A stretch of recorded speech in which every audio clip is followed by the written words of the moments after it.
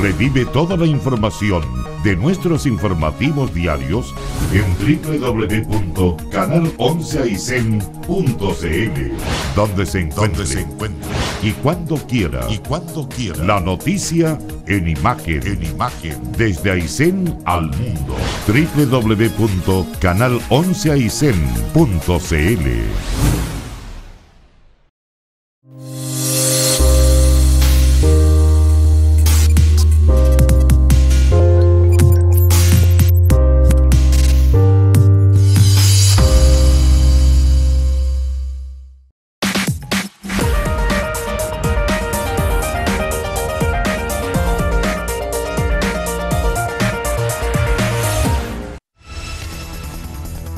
Con el auspicio de Aguas Patagonia, confianza en lo nuestro. Presentamos en Canal 11 Televisión Aysén, Hora 22, la noticia en imagen.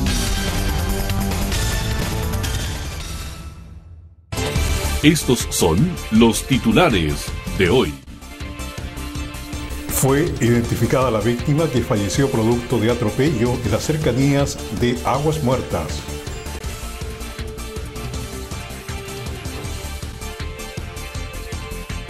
Pareja Isenina gana regional y va por el nacional de cueca de adulto mayor.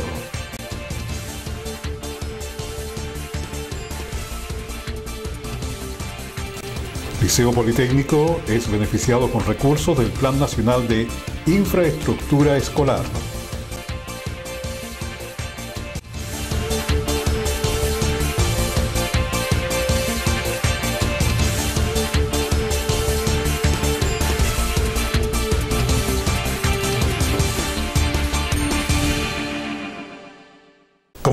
Bienvenido a nuestro informativo. Estamos dando inicio ya a las informaciones de esta semana a través de Canal 11 TV Aysén, lunes 22 de agosto. Bueno, le vamos a contar que fue identificada la víctima producto de un atropello ocurrido durante el fin de semana en las cercanías de Aguas Muertas. Conversamos sobre este hecho con el fiscal Pedro Poblete Vieja. Sí, sí, ya efectivamente se han realizado diligencias tendientes al esclarecimiento de los hechos eh, los cuales el día de ayer se toma conocimiento en horas de la madrugada, aproximadamente a eso las 7 horas con 30 minutos, eh, más o menos, personal de carabineros que realizaba las últimas rondas del turno nocturno eh, se percata de la presencia de una persona de sexo masculino que se encontraba tendida al costado de la vía pública en calle Bernardo Higgins, ahí en, en el acceso, por así decirlo, norte del puente de Aguas Muertas. Por ello se solicita a través del fiscal del turno la concurrencia de personal especializado de la policía de carabineros, en este caso, de la sección de investigaciones de accidentes de tránsito, del laboratorio criminalística La Bocar y de la sección de investigación policial CIP. ¿Por qué motivo? En atención a los antecedentes, los indicios que estaban en el lugar daban cuenta de una dinámica que podría ser aparentemente un accidente de tránsito, básicamente por la posición en la que se encontraba el cuerpo, el hecho de no advertirse a simple vista lesiones que fuesen compatibles con una agresión y también eh, por el hecho de encontrarse descalzo, que es una situación que muchas veces sucede a propósito de eh, los accidentes de tránsito eh, de esta naturaleza. Conforme a estos antecedentes, se constituyó el personal especializado verificando personal de la sección de investigación de accidentes de tránsito la existencia de numerosas, de algunas muescas o evidencias compatibles con un atropello por ejemplo, eh, restos de pintura, restos de micas plásticas y también eh, ya los sumados indicios de los zapatos y del cuerpo. ¿ya? la revisión externa que realiza el cadáver personal del abocar pudo establecer múltiples eh, lesiones propias de un politraumatismo y eso estamos ahora a la espera de la confirmación que se realice con la autopsia de rigor. Se está trabajando en base a distintos elementos, por ejemplo, testimonios de vecinos, que escucharon un frenazo y logramos más o menos posicionar una hora eventual del accidente entre las 23 a las 24 horas del día eh, anterior, del día 20 de, agosto. Y eh, el vehículo involucrado es un vehículo eh, de color negro que correspondría a una camioneta. ¿ya? Ah, por lo tanto, ese tipo de diligencias hoy día están encomendadas a la sección de, de investigación policial, a la CIP, quienes están realizando amplios, eh, eh, por así decirlo, empadronamientos, búsqueda de información, eh, tendientes a, ¿cómo se llama?, a, dar con, los con el paradero del autor del hecho, que es un delito de no dar cuenta de accidente de tránsito con resultado de muerte. ¿ya?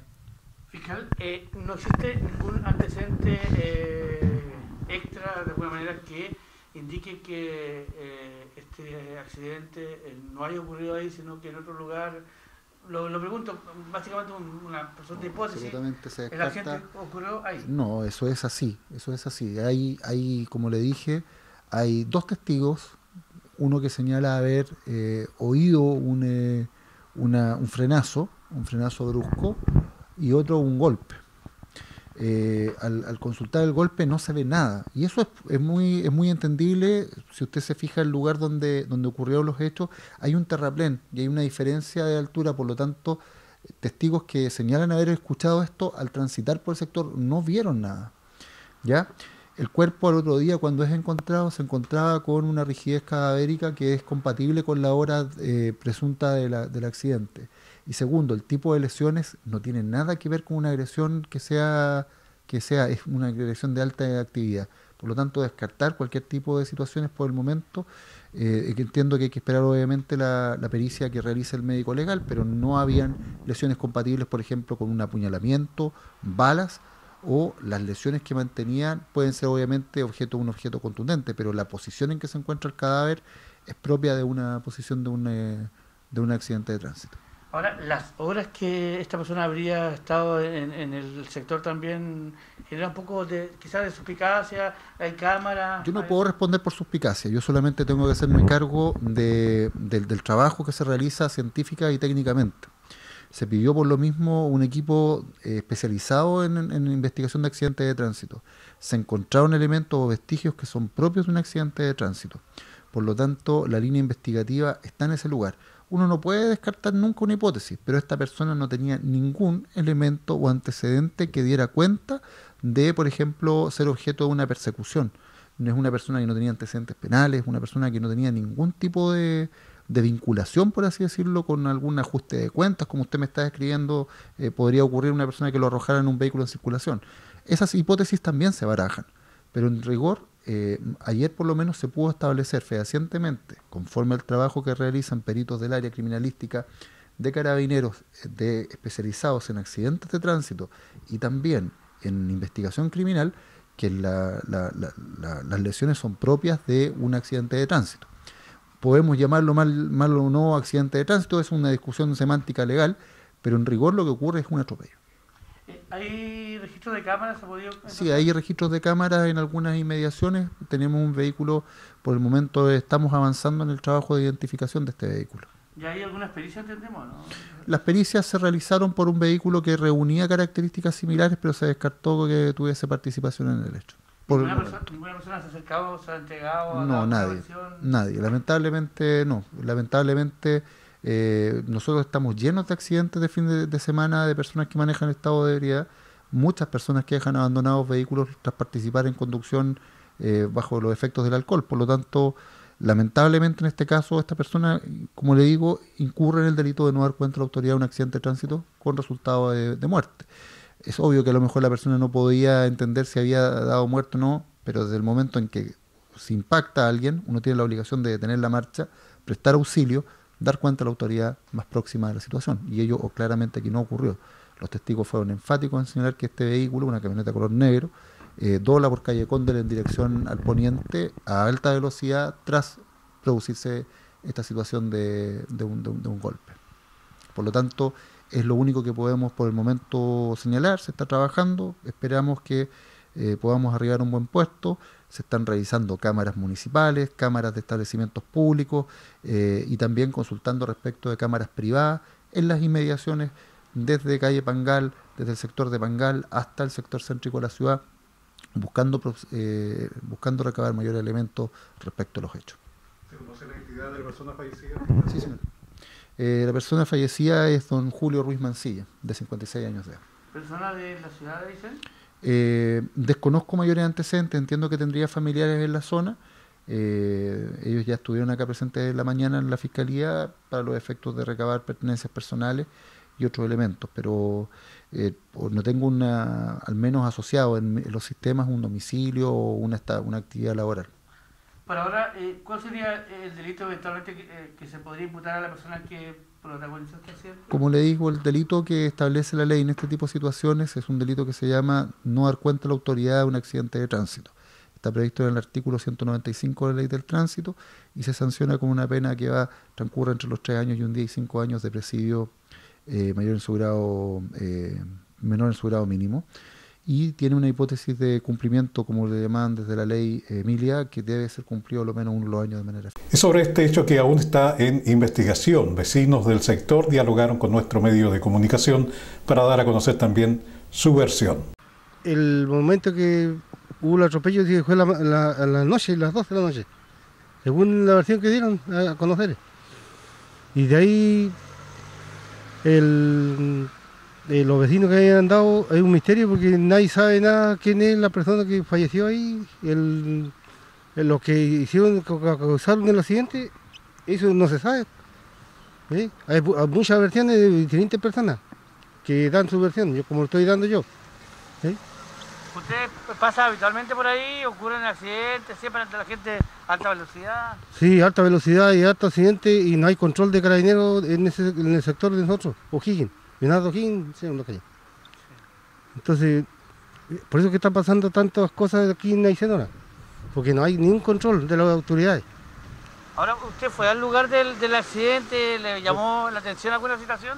Yo pasé a mirar dónde está el accidente y hay sangre a la, orilla del, camino. Pero eso puedo decir yo, lo que vi yo. Y seguiremos muy atentos entonces a la investigación para contárselo en nuestros próximos informativos de nuestro medio de comunicación. Cambiamos de plano informativo, le contamos ahora que Pareja Isenina ganó regional y ahora van por el nacional de Cueca del adulto mayor. Queremos agradecer también a nuestros colegas, medio asociado de Vía Austral, por las imágenes y también por las eh, cuñas, ¿no es cierto?, de quienes nos representaron durante el fin de semana en este regional de Cueca. Camuna de Puerto Aysén. Pareja compuesta, Brasileña Lidia Medina Hernández y don José Montiel Montiel nuevos campeones regionales adulto mayor 2022. ¡Adelante campeones! Hace entrega, ¿cierto? La señora concejal de la comuna de Coyhaique, Joana Hernández, y la delegada regional, la señora Sandra Varga. Don José, felicitaciones primero que todo eh, por este triunfo obtenido. Eh, las impresiones de este campeonato, don José. Bueno, primero que todo, eh, felicitar a todo el equipo que hace esta, esta actividad tan maravillosa, donde se ve que hay un trabajo de muchas personas, porque cuando baila un niño, ahí pasan cuántas manos. Entonces yo realmente que felicito a ustedes, tú que estás de animador, ojalá que te lleven un almuerzo para allá.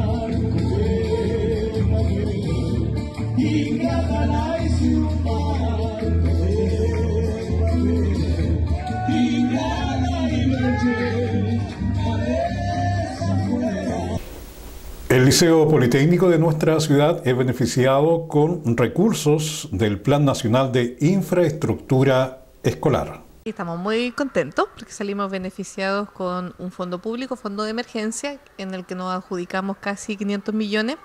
Y esto es muy positivo para nuestra institución. Nosotros tenemos problemas gruesos de infraestructura en el edificio antiguo, especialmente lo que tiene que ver con techumbre. Tenemos goteras y goteras importantes.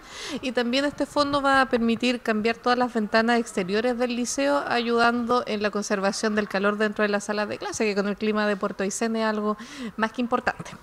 Ahora, eh, esto va a, desarrollarse únicamente acá en el edificio antiguo, ¿no?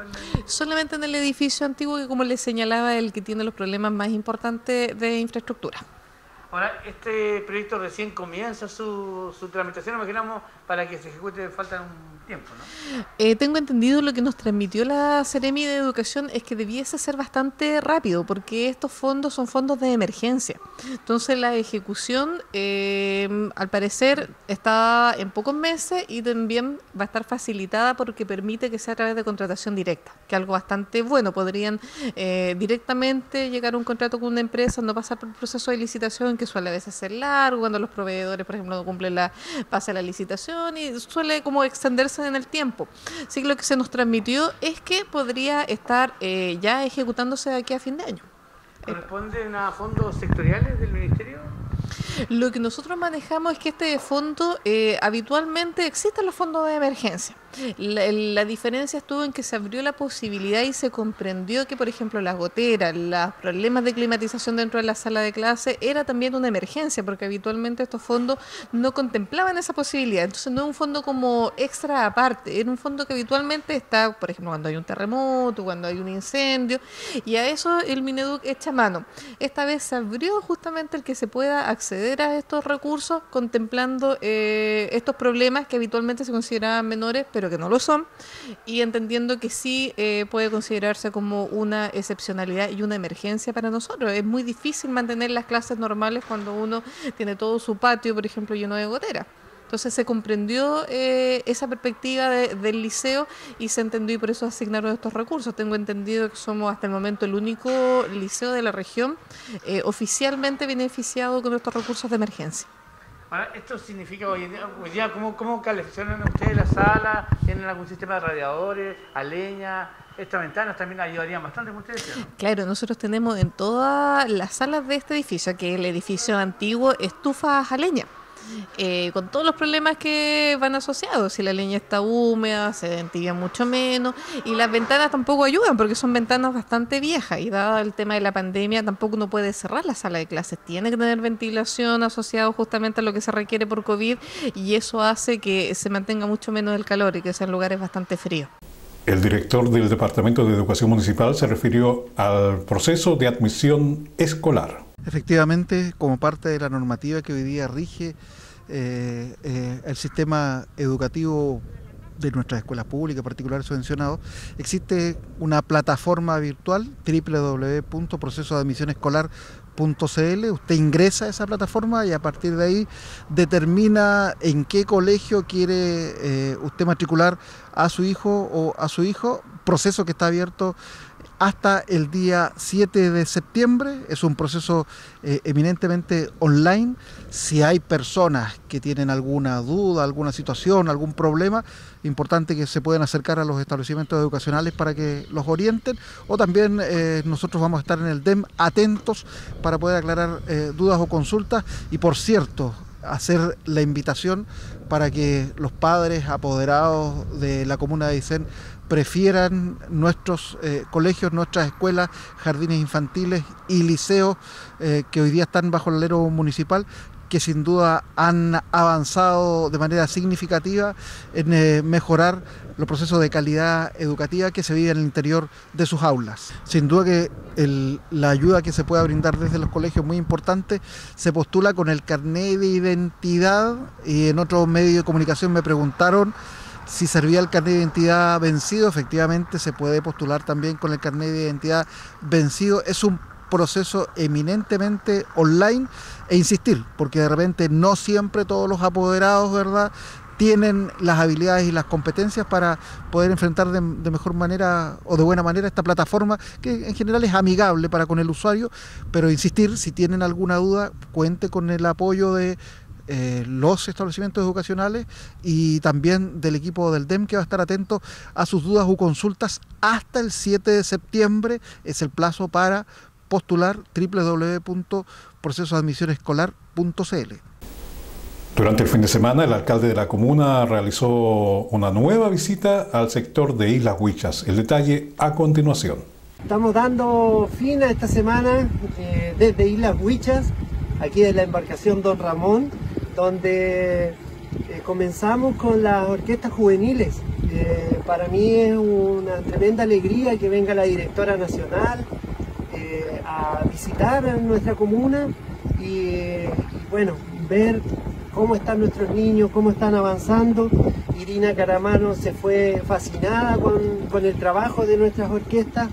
Eh, estuvimos también con un festival de teatro ambiental donde nuestros niños, nuestras educadoras se pudieron presentar ahí en el polideportivo. Fue un momento muy bueno porque estamos potenciando la cultura y también nuestro medio ambiente. Eh, estuvimos con nuestra Ceremi de Educación para que nos trajo la linda noticia de que vamos a contar con más de 600 millones de pesos para la reparación de nuestro liceo politécnico. Eso nos, llena de orgullo porque es una necesidad de muchos años que ahora la vamos a poder, la vamos a poder cumplir. También hicimos una ceremonia de entrega de terreno para la reparación de nuestro polideportivo. La empresa Julton es la que se adjudicó esta obra y esperemos que la pueda, eh, pueda realizar sin inconveniente y que se demore lo que está estipulado en el, en el, contrato. Eh, bueno, desde ahí nos dirigimos a Islas Huichas, donde pudimos estar ahí en la sala de estimulación temprana, donde a nuestros niños se les entregaron juguetes didácticos para que además no solamente en nuestra sala de estimulación trabajen, sino también puedan trabajar desde sus casas. Estuvimos en reunión con nuestros padres y apoderados de los niños que viajaron a Santiago, La Serena, Valparaíso y Viña. Eh, fueron momentos muy lindos con ellos porque eh, hacían notar el trabajo que estamos realizando eh, con, nuestras, con nuestros alumnos y que en realidad les ha cambiado la vida. Así que eso para nosotros es muy importante el podernos tener. Las visitas a los adultos mayores, no solamente escuchando sus demandas, sino que también escuchando su forma de vivir, qué es lo que han hecho, cómo, han, han trabajado. Eh, son instancias de mucho aprendizaje, eh, de ver cómo nuestros adultos mayores hicieron su vida aquí en Isla Huicha. También con la Junta de Vecinos, los cuales están muy contentos de que todos sus proyectos salieron adelante. No solamente los proyectos municipales, sino que también lo que hemos postulado a otras instituciones. Y por otro lado, en Aysén seguían pasando cosas como el rock en el Cerrito Mirador, donde estuvieron llenos de, de, alegría, ¿cierto? Todas estas bandas que se le están generando espacios para trabajar. Así que ha sido una, eh, semana llena de actividades, de las cuales les he dado a conocer, se me han quedado algunas actividades afuera, pero eh, siempre contentos del trabajo realizado no solamente por el alcalde, sino que por todo el municipio, por todos esos grandes equipos de personas que trabajan con nosotros. Así que un cariñoso saludo a todos. Pausa y regresamos con más informaciones en hora 22.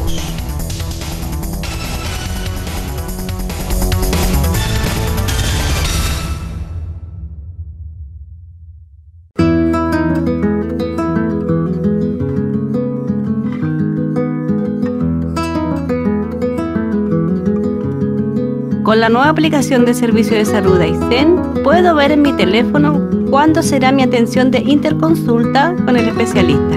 Así puedo estar tranquila de no perder mi hora. Y si tengo más de una interconsulta, no me confundo con las fechas, porque la aplicación me las recuerda.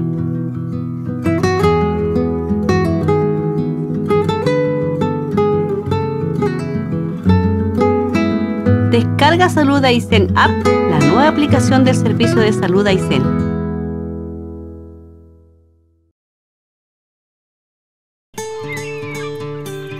La industria nos permite tener una gran diversidad de personas, de servicios, de gente, tanto empresas grandes como empresarios pequeños y diversidad de gente, eh, gente de diferentes etnias, gente de diferentes orígenes. Lo que hoy día es Puerto Montt, lo que hoy día es Chiloé, lo que hoy día es la undécima, lo que recordaremos tiempos aquellos 30 años atrás, es totalmente distinto de lo que es hoy día. Gente con más posibilidades, gente con más esperanza, con más seguridad.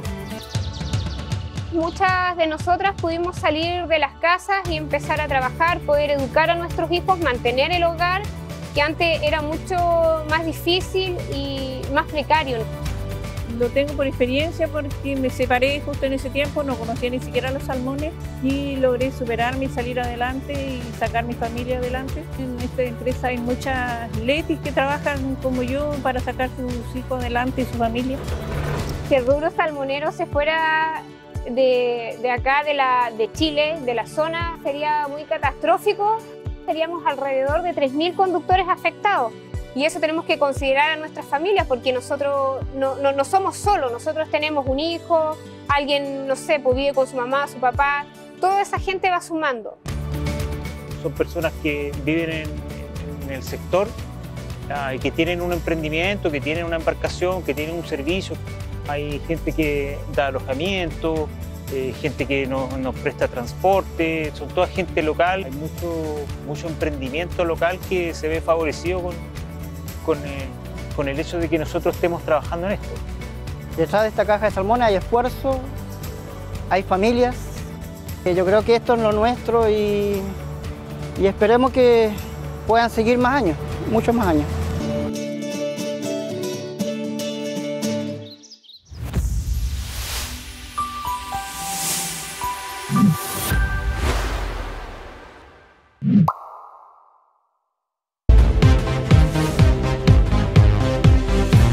Automotriz Aizen Motors. Venta de vehículos zona franca traídos desde Iquique, stock propio, en diferentes modelos, marcas y valores, créditos en algunos modelos, hasta 36 meses. Todos los vehículos son revisados en una preentrega a los clientes.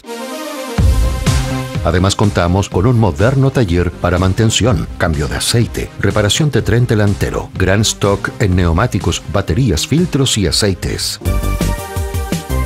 Automotriz Aysén Motors, 14 años en Puerto Aysén. Eleuterio Ramírez 590 frente a la Fiscalía, teléfono 672-33-3609 y celular 99991-8167. Email ventasaisenmotors.gmail.com. Horario de atención lunes a viernes de 9 a 13 y de 15 a 19 horas.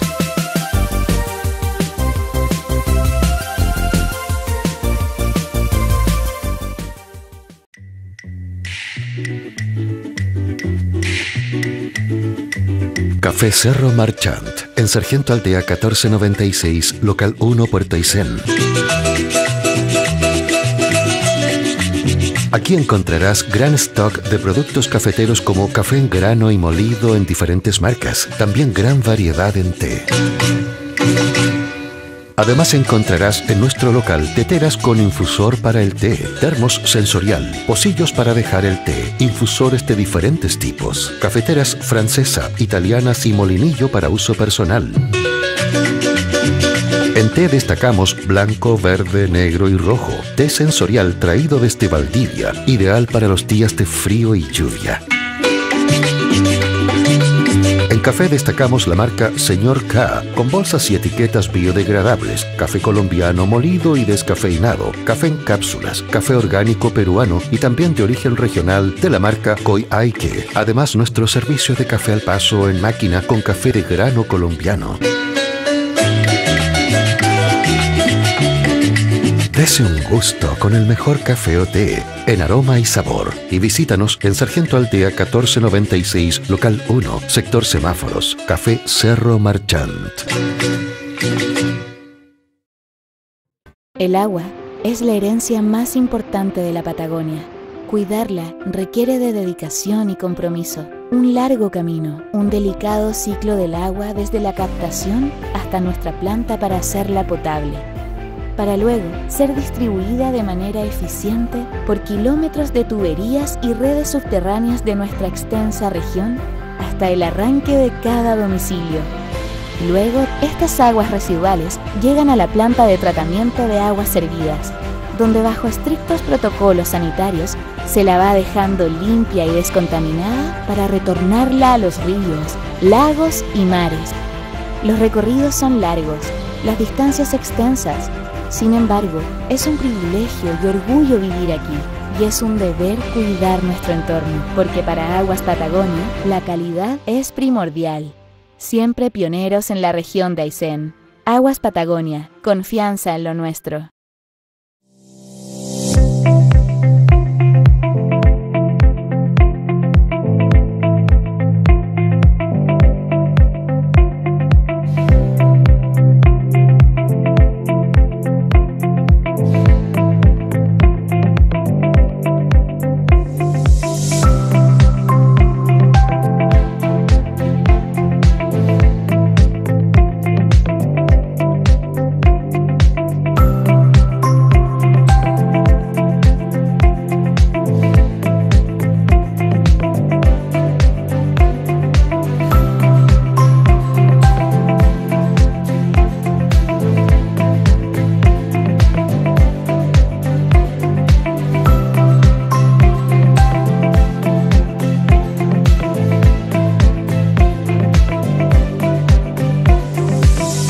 Empresas Cortés, construyendo la Patagonia, siempre.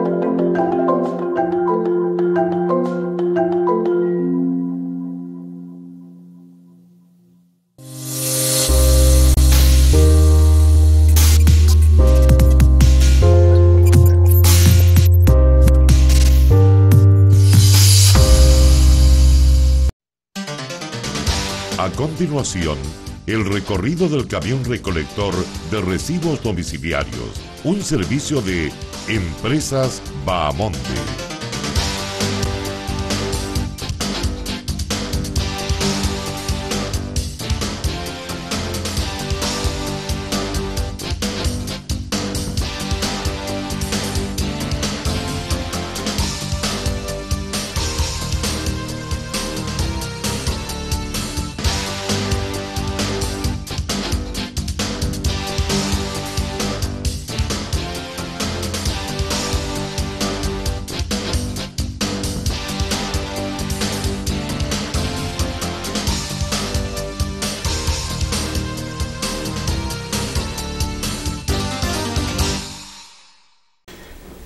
Bien, nos despedimos. Gracias por la sintonía. Que esté muy bien. Nos encontramos mañana con más informaciones, como siempre, aquí en el canal de la gente de Aysén. 22 años informando de lunes a viernes en estas pantallas y también a través de las redes sociales de nuestro medio de comunicación. Este informativo lo puede revivir en canal 11 aysén.cl. Que esté muy bien. Será hasta mañana. Con el auspicio de Aguas Patagonia, confianza en lo nuestro. Hemos presentado Hora 22. Informativo que puede revivir a partir de este instante en www.canal11aicen.cl.